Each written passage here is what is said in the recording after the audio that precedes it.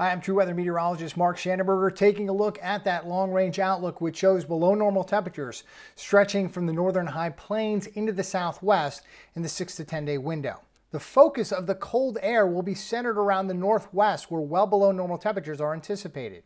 East of that area is looking at near or above normal temperatures during this time with most of the east coast projected to see well above normal conditions.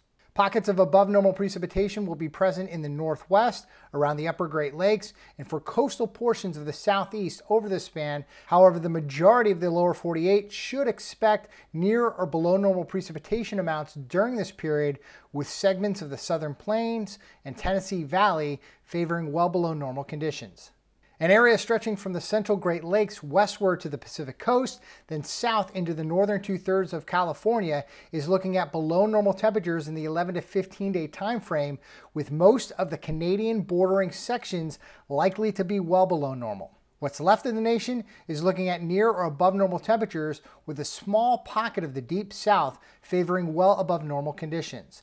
Outside of a couple of small segments around Northern California and coastal sections of the southeast, near or below normal precipitation is expected over this stretch with parts of the lower Mississippi Valley likely to be well below normal.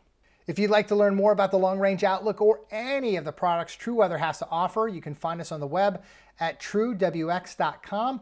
Also, make sure to subscribe to our YouTube channel, follow us on LinkedIn, Instagram, and TikTok, and like us on Facebook.